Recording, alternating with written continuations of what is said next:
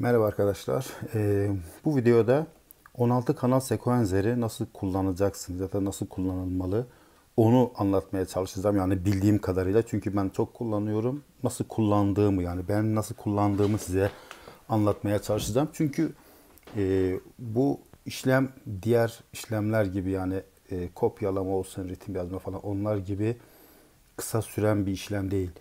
Bayağı meşakkatli, uzun sürüyor. Yani bir sürü ayarı var. Aralarda benim de unutup söyleyemeyeceğim şeyler olacaktır mutlaka. Çünkü bir sürü sayfası, bir sürü ayarı, bir sürü pratik noktaları yani fazla fazla meşakkatli bir iş. Ben kendi yaptığım kayıtlardan yola çıkarak size anlatmaya çalışacağım nasıl kayıt yaptığımı. Umarım işinize yarar. Şimdi 16 kanal sekuenzi, sekuenzeri kullanmanın iki yolu var. Birisi rekorta bastığınız zaman hızlı kayıt var. Bir de new kayıt deyip sıfırdan kayıt yapmak var. Şimdi öncelikle hızlı kayıtta benim hep kullandığım hızlı kayıt. Çünkü hızlı kayıtta e, ritim ve akompanyalarınızı hazır bir ritimden alıp şarkıyı baştan sona ritim ve akompanyalarını kaydediyorsunuz. Sonra dönüp üzerine işte takip sesini, solo sesleri, ara geçişleri, farklı enstrümanları üzerine ekleyip kullanabiliyorsunuz. Ama diğeri bu yeni kayıt yazan yerden yapmaya çalışırsanız o zaman yani bir parçayı yapmak sizin günlerinizi alır. Çünkü sıfırdan yaptığınız için ritim kullanmayacaksınız. Diyelim 5 dakikalık bir parça var. Parçanın baştan sona kadar çiklerini ayrı atacaksınız, zillerini çalacaksınız. Yani bir ritmini yazmanız bile hemen hemen bir gününüzü alabilir. Ataklarını canlı hepsini online yazmanız gerekecek. Aynı anda yazıp kaydetmeniz gerekecek. Yani o benim hiç kullanmadığım yani yani bilmediğimden değil de uzun sürdüğü için kullanmadığım bir yol. Size daha pratik olan yolu göstereceğim. O birisini de anlatacağım aralarda yine. Şimdi e, yapacağınız şarkıya şarkıyı yani kaydedeceğiniz şarkıyı öncelikle hakim olmanız gerekiyor. Yani parçanın trafiğini, geçişlerini, enstrümanlarına hakim olmanız gerekiyor ki iyi bir iş çıkarabilirsiniz ortaya. Önce bir plan yapmanız gerekiyor. Parçayı, şarkıyı çalmadan önce nasıl bir plan? Introsu olacak mı? Ee, sololar kaç tekrar olacak? Şan bölümü kaç tekrar olacak? Şandan sonraki solo bölümler kaç tekrar olacak? Yani tekrarlarını ve trafiklerini önce bir planlamasını yapmanız, yapmanız gerekiyor. Diyelim hepsi iki tekrar olacak. İşte e, şan bölümü de iki olacak. Ara bölümler de iki olacak. Sololar da iki olacak diyorsanız ona göre ilk önce ritim ve altyapıyı kaydediyoruz. Tabi onu kaydederken aynı anda takip sesi e, dediğimiz bir ses, herhangi bir sesi kullanabilirsiniz. Parçayı baştan sona çalıyorsunuz o sesle akorları basarak. Sonra dönüp başa geldiğiniz zaman o takip sesinin silip üzerine tekrardan ana seslerinizi şeyler e, geçişlerinizi salıyorsunuz. Evet ses sözü fazla uzatmayayım diyeceğim ama yani bu e, olay çok farklı bir olay. Onun için ilk başta bir anlatayım. E, anlatmakta fayda görüyorum. Evet diyelim ki ben bir parça yapacağım şimdi. Yalnız kısa bir bölümünü yapacağım. Ön fikriniz olsun. Zaten devamını siz yaparsınız. Yani parçanı baştan sona çalmayacağım. Belli bir noktaya kadar çalacağım. Ondan sonra üzerindeki düzenlemeleri yapacağım. Zaten e, bir dakikalık bir şey çal yaparım herhalde. Ondan sonra zaten siz işin e, püf noktasını, mantığını anladığınız zaman isterseniz 5 dakikalık bir parça yapın, isterseniz yarım saatlik bir parça yapın. Evet, öncelikle kullanmak istediğimiz ritmimizi seçiyoruz. Evet, burada e, ben Emrah'ın kısa bir parçasını, bir parçasının kısa bir bölümünü yapacağım. Seçiyoruz istediğimiz ritmimizi diyelim. Buna aldık. Tempomuzu ayarladık. Ne var altında? Klarneti seçiyoruz. Bir de klarneti aldım. Çünkü bu alttaki uper 2, uper 3'leri de kayıtta kullanacağız. Yani e, sonra dönüp başa düzenleme yaptığımız zaman, ara geçişler falan yaptığımız zaman burada kullanacağız. Onun için bu sayfadayken ben bunlara da kullanacağım sesleri seçeyim. Mesela buraya ben keman kullanacağım. Grup yaylıları kullanacağım burada.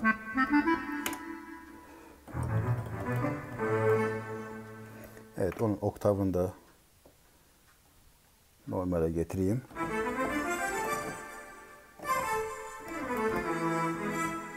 Tamam. İşte e, bunda ne kullanabiliriz? Misal kanun diyelim. Kanun kullanmadığım ben ama bu da kanun seçelim diyelim. Kanun kullanacağız. Bakalım nerede ya da heh, bakalım. Bunu da oktavını ayarlayalım.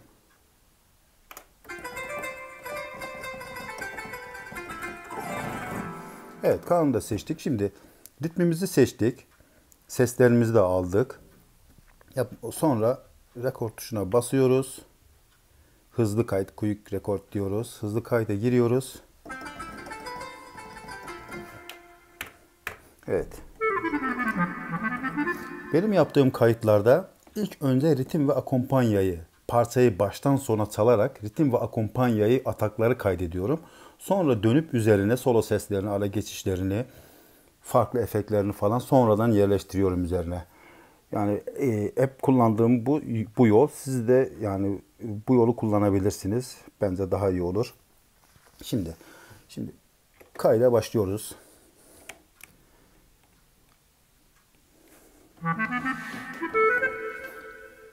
Şimdi start start'a basıp ya, ya kayda başlarken direkt startla baş, e, başlayabiliriz ya da direkt buraya basıp start istediğimiz zaman girebiliriz. Şimdi böyle anlatıyorum ama unuttuğum, e, anlatmadığım birçok şey olacak. Kusura bakma. Yani ben şu anda nasıl kayıt yap, yaptığımı size anlatmaya çalışacağım, çalışıyorum. Şimdi mesela intro ile mi başlayalım diyelim. Yani intro ile başlayalım. Bir intro ile girelim. Sonra solosunu e, çalacağız. Soloyu şimdi ben parçayı baştan sona çalacağım. Sonra soloyu silip üzerine tekrardan çalacağım. Çünkü baştan sona ritimle beraber şarkıyı çalıyorum ki nerede ne yapmışım, e, trafiği unutmayayım, tekrarları unutmayayım diye. Evet. Başlıyorum şimdi.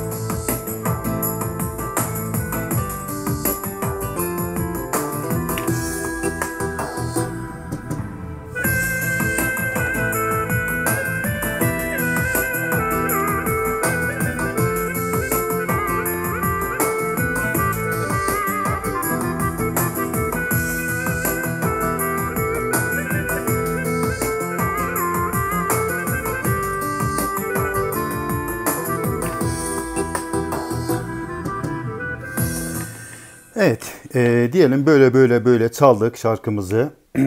yani e, ritmi baştan sona kadar akorları, girişleri, çıkışları falan baştan sona kadar çaldık. Bitirdik. Ritmimizi ve alt yapılarımızı hafızaya aldık. Takip sesiyle birlikte. Klarnette durmadan hep şan bölümlerini de çaldım ki şarkının nerede olduğumuzu tekrarlarını unutmayalım diye. Evet. Şimdi burada yapmamız gereken durdurduk kaydı.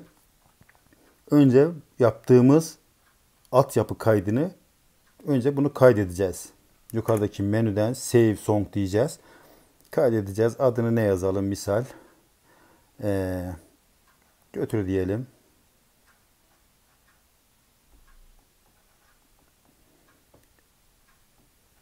E, kaydettik şimdi şarkımızı. Şimdi burada yapmamız gereken sonra tekrardan buradan rekorda basıyoruz. Bakın edit diyor. Edit'e, edit'e basıyoruz. Bastığımız parçanın kanalları önümüze açılıyor. 1, 2, 3, 4, 5, track 9. E, track select tuşuna da bastığımız zaman track 9, 10, 11, 12 yani bu 9 ile 16 arası ritim bölümünün kanalları. 1 ile 8 arası da sizin kullanacağınız seslerin kanalları. Şimdi bakalım kaydımıza. 1'e klarnet vardı. 2'de yaylı vardı. 3'te kanun vardı. Şimdi şimdi bu sayfadayken dokunduğumuz kanal direkt bakın kırmızıya dönüyor. Kayıt moduna geçiyor. Şimdi klarnetimiz kalsın yerinde çalmıştık. Onu zaten baştan yine çalacağız. E, kemanları bir üzerine geçişlerimizi yapalım. Basıyoruz. Play ediyoruz.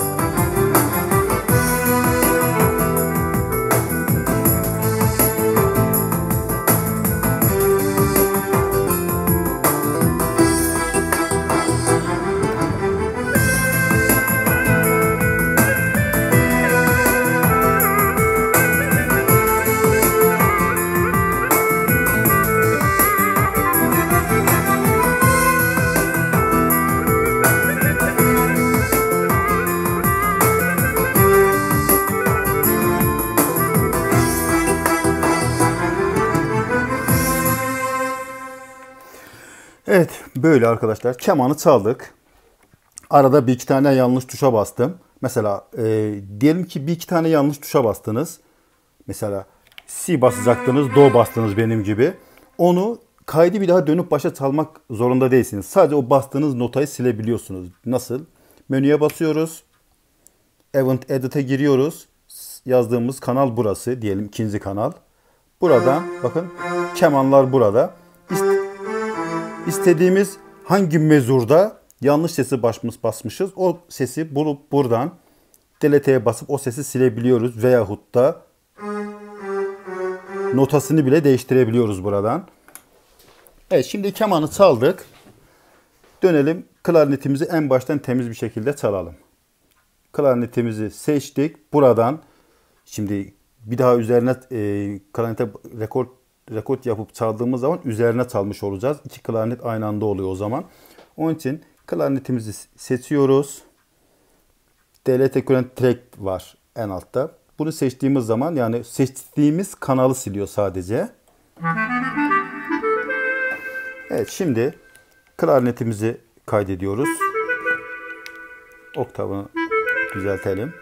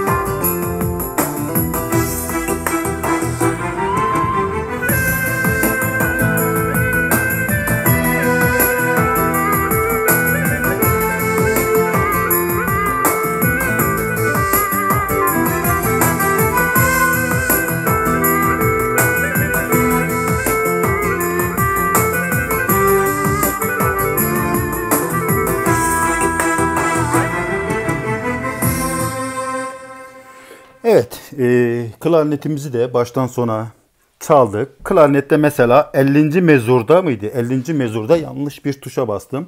Onu gelin beraber bulup silelim. Nasıl olduğunu siz de görün. Böyle bir tuşa basmıştım herhalde öyle bir şey. Buradan indirip 50. mezuru buluyoruz. 49. Bakın burada pitch bend kullandığınız değerler de gösteriyor. Bu sayfaları atlamak için bakın filtreye giriyorsunuz. Pitch Bender'ı seçiyorsunuz. Geliyorsunuz. Pitch Bender olan bölümleri atlıyor. Seçmiyor. Kullan, kullanmıyor yani. Bu e, sayfayı azaltıyor. Şimdi bakalım nerede nerede kullanmışız o sesi bozuk sesi.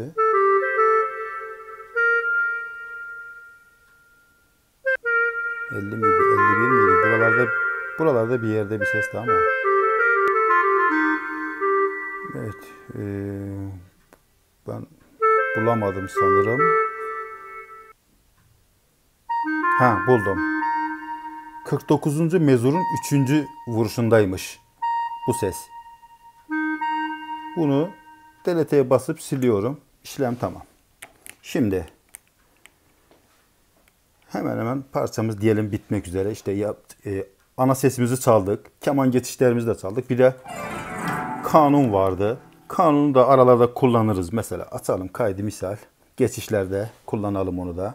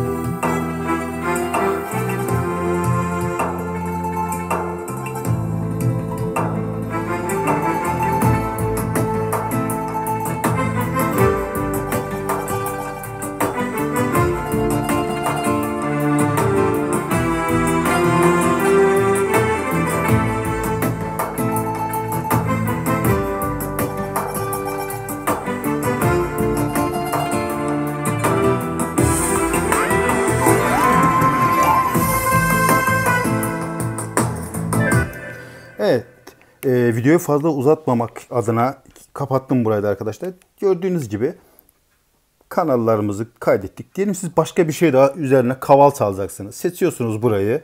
Ne var burada? Burası da Track 4'te normalde lower'da kullandığınız ses geliyor buraya. Onu da buradan seçip buradan üzerine tıklayıp istediğiniz Mesela bağlamada bağlama kullanın misal ya da elektro bağlama kullanın, ut kullanın.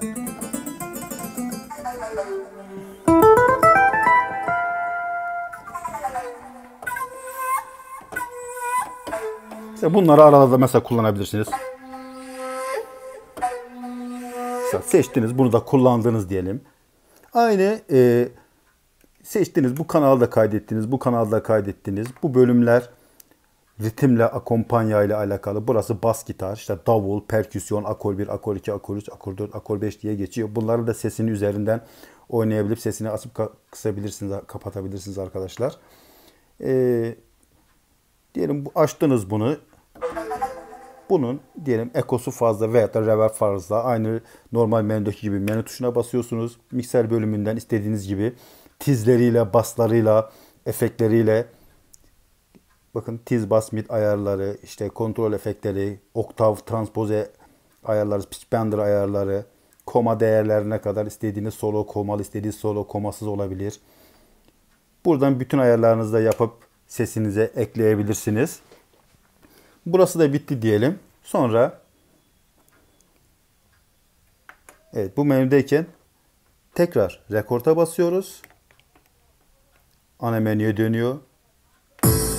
Şimdi bakalım parçamıza. Az ileriye alalım.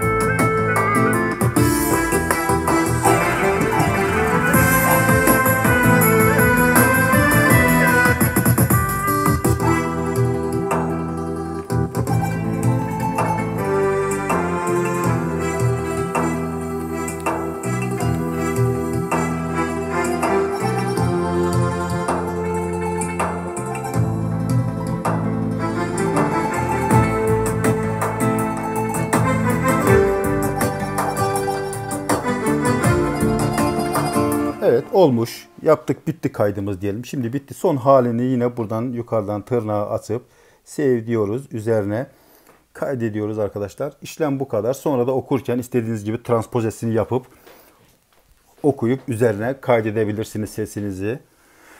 Evet arkadaşlar bu da böyle. Şimdi e, eminim e, takılan arkadaşlar olacaktır kardeşim çalamamışsın nasıl çalma falan. Ben zaten öyle bir ön fikriniz olsun, bilginiz olsun, mantık olarak nasıl ilerliyor, nasıl kayıt yapılıyor onu anlatmaya çalıştım arkadaşlar. Çalmama takılmayın, çalamadım zaten. Evet, şimdi e, bu menüden çıkalım. Bir de e, basit olarak e, diğer kayıt şeklini göstereceğim. New kayıttan.